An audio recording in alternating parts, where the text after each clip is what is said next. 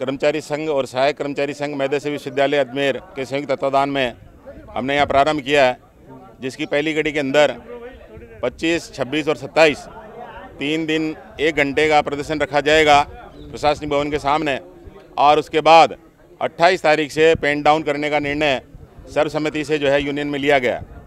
जिन बिंदुओं पर ये आंदोलन किया जा रहा है वो पाँच सूत्री मांग पत्र संघ द्वारा प्रशासन को दिनांक शुक्रवार को दे दिया गया था और पाँच सूत्री जो मांग पत्र है उसके अंदर प्रमुख रूप से जो मांग है हमारी, वो ये है कि सातवें वेतन आयोग का भुगतान अभी विश्वविद्यालय कर्मचारियों को नहीं मिला है।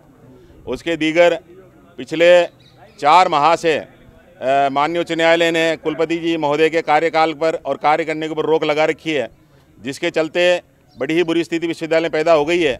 कोई भी काम जो है यहाँ नहीं हो पा रहा है, ना तो प्रशासनिक काम हो पा रहे हैं, ना कोई वित्तीय काम हो पा रहे हैं। इससे ये स्थिति पैदा हुई है। और पाँच सूत्री मांग पत्र के अंदर प्रमुखता से जो हमारी मांग है, वो सातवें वेतन आयोग की है। उस, उसका सातवें वेतन आयोग का जो है, विश्वविद्यालय कर्मचारी भुगतान नहीं हो रहा है। इसकी दीगर पिछले छः माह के अंदर जो कर्मचारी हमारे सेवा सेवानिवृत्त हुए हैं, उन सेवानिवृत्त कर्मचारियों को उनके पेंशन और सेवानिवृत्ति जो परिलाभ है, वो नहीं दिए जा रहे हैं। और जबकि जो कानून है, इस बात की अनुमति देता है कि प्रशासन जो है, एक इंट्रीम जो है, पेंशन कर्मचारी को दे। कारण क्या होता है कि कर्मचारी जब रिटायर होता है तो उसकी तनख्वाह तो बंद हो जाती है, लेकिन पेंशन नहीं मिलने से उसके लिए जीवन यापन का संकट पैदा हो जाता है। तो दूसरी मांग हमारी जो है, जो सेवानिवृत्त हमारे जो साथी लोग हैं, उनको पेंशन ग्रेचुटी आदि का भुगतान हो।